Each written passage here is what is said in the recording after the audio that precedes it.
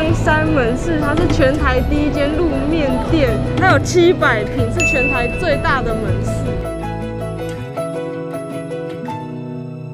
这里真的太酷了，颠覆我对无印良品的印象。嗨，大家好，我是好想去我的 Heaven，我是摄影师苏生。我们今天来高雄拍摄，然后呢，想说顺便来带大家看新开幕的无印良品冈山门市，它是全台第一间路面店，终于在八月八号新开幕，它有七百平，是全台最大的门市。其实我们刚一来就看到超多人，大家都抢先来逛了。我们今天已经算是有一点慢来了。他们除了很大以外，也因为疫情的影响，特别以食与器为主题，打造一个全新的餐饮服务。那就跟着我们一起进去开箱。我们现在走进来这条就是这里最主要的一条道路，可是其实一进来就可以很明显的感受到。这边的道路间隔比之前在可能百货公司里面的那些店面都还要来得宽，考量到会有一些家庭客集体出游的需求，所以这样子会让大家逛起来就感觉到很舒适。往里面走一点，就会发现其实在这个走道中间，他们都有很贴心的设置椅子，哎，反正坐在上面就是宝宝。对，我们现在它家具的区域，因为以往的百货公司空间有限，所以没有办法把很多的商品都一一排列出来。它后面。还有那种轻隔间，这些热卖商品全部排列出来，就觉得哇，真的很疗愈。它这里光是家具的摆设就高达四十五平，超级大。像我朋友就蛮喜欢买他们的寝具或是床哦。嗯，对对对，这样就可以直接坐在上面感受一下，摸看看。而且近几年那种无印风就是很流行。如果你是无印风控，那这里一定是你的天堂，它全部都帮你摆出来，以你的喜好去更好做选择。在这里，他们也特别规划一个家具咨询配置服务，就是把家里的平面图提供给他们，他们就会帮你规划好。要回家再摆又是另外一回事。对对对，我们一般人可能也比较有一些细节没有办法考量到，服务很赞的。我们现在来到这一区就是童装区，有听到声音吧？他们很贴心，在童装区旁边这里打造了一个十五平的沐浴广场，然后它里面就是一个给小朋友游玩的亲子空间，可以看到那边就有一整排全部都是绘本的区域。就可以让大家免费阅读，然后也可以增进一些亲子的感情。而且旁边还有这两面黑板，黑板就可以让小朋友，哇哦，看来他们玩的很开心。小朋友可以在黑板上面发挥创意，所以不只是读书，也可以画画。我们看到小朋友在那里玩那个螺丝，其实它这个大有来头，因为这个是使用回收木头制作出来的木磁铁。那为什么是螺丝吗？因为他们希望透过寓教于乐，让小朋友了解到冈山就是台湾螺丝重要产地的。个地方，梅花带很长哦，对，梅花米圆筒，这里真的太酷了，颠覆我对无印良品的印象。走出沐浴广场就可以发现另外一个亮点，就是个专卖零食的自动贩卖机。我觉得他们也很贴心，刚好沐浴广场跟食品卖场的设计就是对角线，所以他们这样子就在这里放一台贩卖机，让小朋友如果真的玩累了，就可以马上有东西吃。看一下他卖什么，无印良品里面很热门的一些零食，我最喜欢草莓棉花糖，还有这个迷你。拉面也超多人吃。我们现在在冈山门市的良品市场，这也是所有无印良品最大的良品市场，总共有二十品，将近五百种品相，有冷藏食品跟冷冻食品。无印良品外形这样子，好像在逛全联呢。而且这些都是有通过他们产销履历的在地农产品，光是地瓜就有好多种哎。他们这个花也太可爱了吧！他们的自制食品，可是很特别，抹茶口味的，很酷，没办法想象它味道会是什么。这一区真的太酷了，很不像我在无印良品。我们现在绕过来之后，发现一区很特别，就是这个酒品专区。不过，哎，我来介绍也怪怪，感觉应该是苏神来介绍，他应该会看到，哇，这区也太赞了吧！但其实他们这里最大的亮点应该是，他们这次有抢先发售在地水果啤酒，是用那个高雄大树的玉荷包跟燕草芭乐去做出来的荔枝啤酒跟芭乐啤酒。不过呢，已经卖完了啦。对，因为这个真的是太夯了。他说会再进，但是不确定是什么时候。如果大家真的很想要喝的话，一定要密切关注，要不然那种感觉是一上架就被抢光了。我刚刚又找了好久，因为我又找不到那个意式冰淇淋，所以就只好再去问。他说也都是放在冷冻柜里面，就没有，就是也全部卖光了。如果大家是冲着冰淇淋或者是水果啤酒来，可能要再缓缓，等到他们进货，好不好？那在这一区呢，全部都是卖面包，而且这是他们第一次卖面包，因为他们发现附近没有。欧式面包房，所以他们就特别进这个面包柜，看起来超好吃，它真的看起来超好吃，而且还有荔枝又有草莓，我就要买一个，超柔软面包，这个好像也很多人很说。汤哎。然后还有一个是什么？盐可颂这已经没了，没了，我刚刚也找不到。很多都空了。还有就是台湾龙眼蜜、高雄蜂巢面包，的主打商品，但是也卖完了，我看蛮多人来扑空的。但是我觉得这间店很特别，也是可以再来第二次。它这里有补水站，就是你口渴了可以自己装水来喝。然后旁边这个是卖的那个水瓶，但你也可以带自己的水瓶来这里装水喝。没有人想要喝水，也可以泡茶。继续来逛逛，这里太大了。这是我，这是我们第一支影片里面有那么多人。他们不是有咖喱包很热卖吗？因为他们的咖喱其实是都用他们的咖喱专用米去做的。我们等下最后也一定要去吃一下。像这个就是咖喱炖饭专用米，然后这个是炒饭专用米，那分超级细。差别是什么？太强了吧！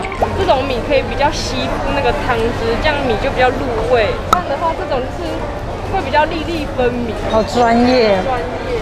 那这样一包多少钱？五十九。如果你是那种对米非常有要求，可以这边希望你可以资源共享，因为无印良品有很多丹宁或者是玻璃系列的产品。如果你有买过玻璃清洁完毕，就可以来这边让他们回收。然后这个是丹宁系列，他们都是跟台湾很知名的品牌合作。旁边这里是食物共享的区域，有时候你可能真的会买到一些自己没有那么合口味的食物，可是它如果还在效期内又没有开过的话，就不要丢掉，这样太浪费。它这有分一些类别，像即食罐头啊、罐装食品这些，他就会把它整理交给家福基金会，就可以帮助一些需要帮助的家庭。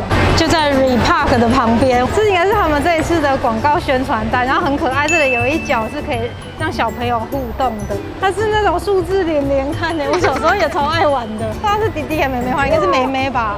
它画的很可爱耶，写出来会变成一个休憩的憩，因为冈山门市就是以食与憩为主题，所以这样走过来这里就也有一个附近的地图，所以大家来到这里也可以看一下你有没有想去的地方。冈山门市在这里，然后捷运站啊，台湾螺丝博物馆，冈山的螺丝，阿公店水库跟冈山之眼这两个也都是冈山很有名的。然后回到他们的家，这里有手做乐土盆栽，他们的盆栽特别用阿公店水库的淤泥去特别改良再制作而成，而且这种盆栽很特别的是它的材质比一般的水泥还要再更透气，更适合作为植物的家。也是高雄无印良品第一间有在卖乐土盆栽，其实全台第一间是美丽华旗店店，因为它就是希望初心者也可以很容易的去种植盆栽。小小一个，感觉也蛮适合放在办公室全台首推可以自助结账的机台，这个也是这一家无印良品的一大亮点。虽然现在很多量贩店都有，但这里就是第一家无印良品有的。我们来尝试看看。我现在要开始自助结账，这样其实我们刚才就站在这里一下下，因为我一直想说，我的面包没有条码，怎么办？在这里啦。我的是冠军丽香草莓，这个。哦，没有没有没有，要买这么多个，他这个不小心扫到两次，小姐要确认清楚。扫描完成，付款，结账成功，这样就完成了。不过自助结账有一些注意事项，就是刚刚要进去之前，工作人员有先提醒，自结账没有办法累积无印良品的点数。对，所以如果大家一定要累积的话，就只能去排人工结账。还有一些像是集齐品或是酒类也都不可以自助结账。我们现在还要接着去吃另外的东西。最后一个亮点就是这边的咖喱，无印良品咖喱应该是大家都知道很好吃的。我们现在就直接坐在里面吃，耶！大家终于看到我的脸了。这是他们吃饭的地方。其实我刚看一下座位还蛮多的，有很多区域有六十五个座位。然后我看一下他们这里的菜单，其实最主要当然就是他们的咖喱，就有本日咖喱，还有。汉堡牌咖喱耶！除了咖喱外，也有提供咖啡、茶饮、蛋糕，还有啤酒。